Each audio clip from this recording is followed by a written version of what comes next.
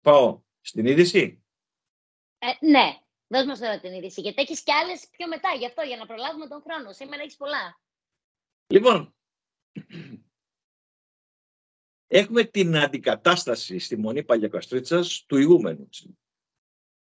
Από την ηγεμονία. Δηλαδή, δηλαδή ο, ο κύριος Σωσίπατρος Ασπιώτης, πατέρας Σωσίπατρος Ασπιώτης, απειλάγει των καθηκόντων του Αχα.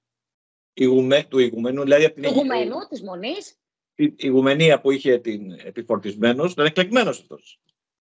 Και είναι στο χωριό του, στον Αφιώνα.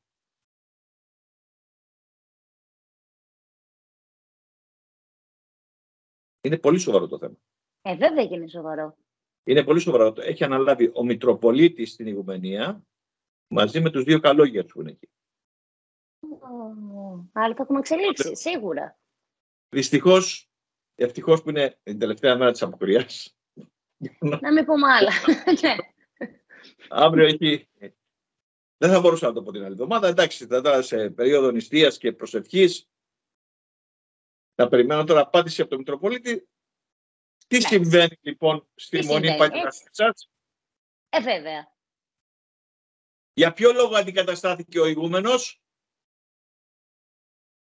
Πρέπει να απαντήσουν όμως, σε Διονύση, είναι πολύ σοβαρό. Είναι πάρα πολύ σοβαρό το θέμα. Πολλά λέγονται. Πο, συγγνώμη, πολλοί ψήθυροι υπάρχουν και είναι πάρα πολύ σοβαρό.